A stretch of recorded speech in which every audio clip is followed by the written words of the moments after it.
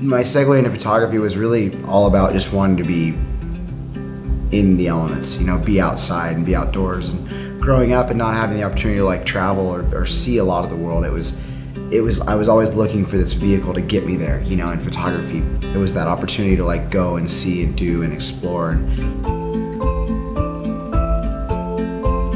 what I've always looked for is, is just ways to kind of appreciate nature and, and, and document that. And whatever I'm doing, whatever sport I'm shooting or whatever kind of thing I'm, I'm shooting, I, I just, I, I've always kind of come back to that same idea of like, I just want to be in nature to appreciate it. And I guess shoot photos that inspire people to get out there and see the things that, you know, I feel like I've been fortunate enough to see and explore.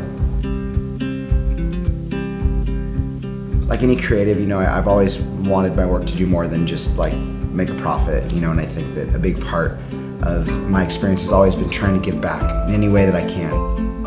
The beauty of, you know, of, of working with Sevenly and, and the opportunity that I've had is that they work with so many different causes that we can always be exploring new things. And, and I love the fact that they're people focused. You know, I think that um, a lot of my work celebrates nature and celebrates these, these landscapes, but to kind of really give back to people who are in need, it's so important to me